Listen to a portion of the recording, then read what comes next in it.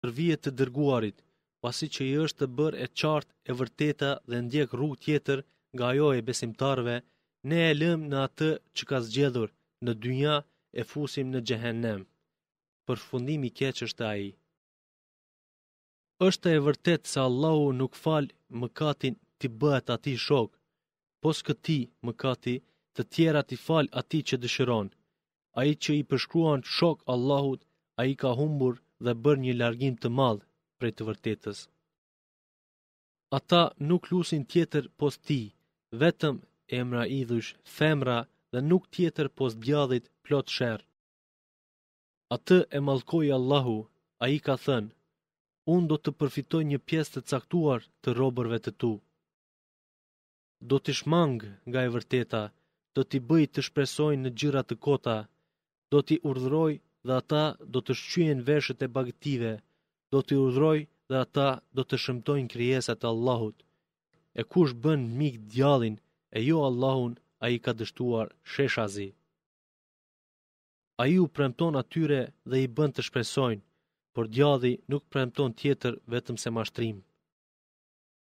Të tillët që ndjekin djallin kanë vendin në Xhehenem dhe prej tij nuk kanë të ikur, shpëtim.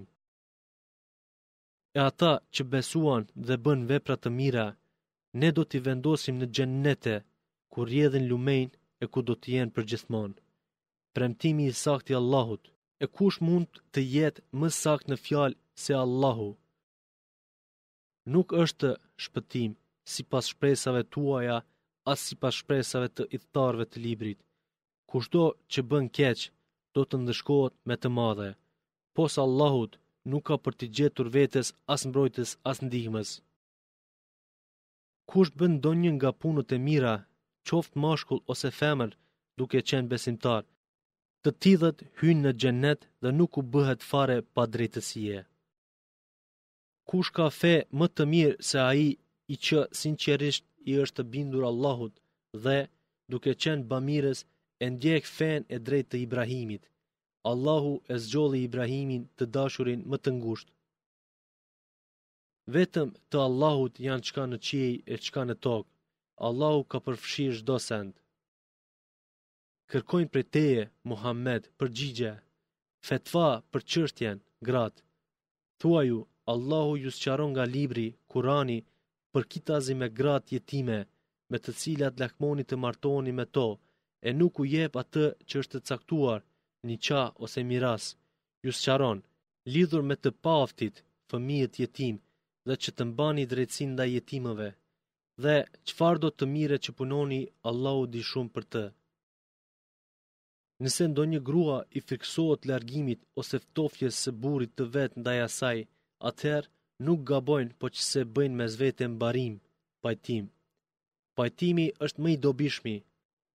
Megjithëkëtë, koprracia është e pranishme ndër njerëz, por nëse silleni mirë dhe ruheni, S'ka dyshim se Allahu hollësisht është i njohur me gjithçka veproni. Ju kurrsesi nuk do të mund të mbani drejtësinë mes grave edhe nëse përpiqeni, pra mos anoni plotësisht nga ndonjëra e të lini tjetrën si të varur. E nëse përmirësoheni dhe ruheni padrejtësisë, Allahu ju fal dhe ju mëshiron. Por nëse ndahen prej njëri tjetrit, Allahu begaton me mirësinë e Tij secilin prej tyre. Allahu është Bujar i Madh, i Plotdijshëm. Vetëm e Allahut është çka në qiej e çka në tokë. Ne patëm sugjeruar atyre që u pat dhënë libri para jush, e edhe juve që të keni frikë nga Allahu. Po në mos besofshit, dine, e Allahut është çka në qiej e çka në tokë. Allahu është i panevojë e i falënderuar. Të Allahut janë gjithçka në qiej e çka në tokë, mjafton që Allahu është i përkujdesshëm. Nëse ai dëshiron, ju zhduk juve or njerëz e sjell të tjerë, për këtë është i plotfuqishëm. Kush, me punën e vet, dëshiron shpërblimin e kësaj bote, ai gabon. Shpërblimi i kësaj dhe i asaj botës tjetër është te Allahu, e Allahu dëgjon, sheh. O ju që besuat, vazhdimisht të jeni dëshmues të drejtë për hir të Allahut, edhe nëse është kundër interesit vetvetes suaj, kundër prindërve ose kundër të afërmve, le të jetë ai për të cilin dëshmohet, pasanik ose varfnjak, pse Allahu di më të mirë për ta. Mos ndiqni pra emocionin e t'i shmangeni drejtësisë. Nëse shtrëmbëroni ose tërhiqeni, Allahu hollësisht di çka punoni. O ju që besuat, besoni vazhdimisht Allahun, të dërguarit të tij, librit që gradualisht ia shpalli të dërguarit të tij dhe librit që e pat zbritur më parë. Kush nuk i beson Allahut, engjëve të tij, librave të tij, të dërguarve të tij dhe botës tjetër, ai ka humbur tepër larg. Vërtet, ata që besuan e pastaj tradhtuan, përsëri besuan, pastaj tradhtuan dhe e shtuan mosbesimin, Allahu nuk u fal atyre as nuk i udhëzon në rrugë të drejtë. Ti, Muhammed, lajmëroji munafikët se me të vërtetë ata kanë një dënim të dhembshëm. Janë ata që, përkundër besimtarëve, i miqësojnë jobesimtarët. Vallë, a mos kërkojnë fuqi te ta? S'ka dyshim, e tërë fuqia i takon Allahut. Juve u është shpallur në librin, Kur'anin, që kur të dëgjoni se po mohohet Kur'ani i Allahut dhe po bëhet tallje me të, Mos rrini me ata derisa të mos hyjnë në bisedë tjetër, përndryshe ju do të jeni si ata. Allahu do t'i tubojë tradhtarët dhe jobesimtarët që të gjithë në xhehenem.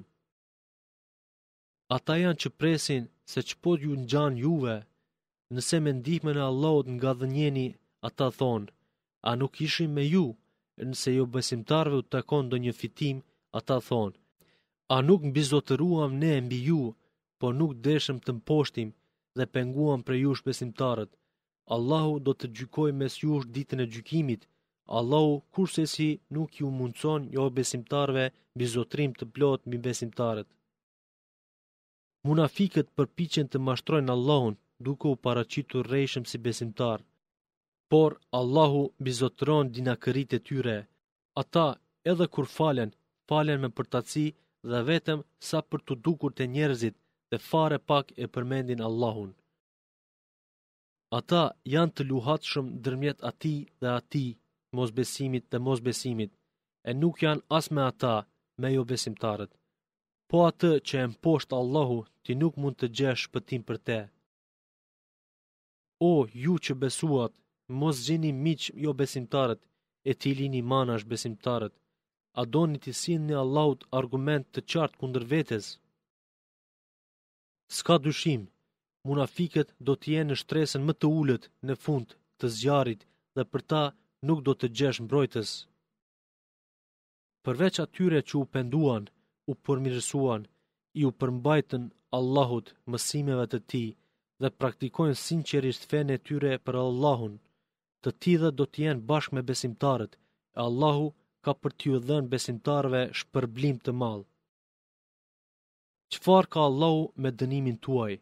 E falendëruat dhe i besuat, e para nuk i pakëson sundimin e as e dyta nuk ia shton. Allahu është Mirënjohës i Dijshëm.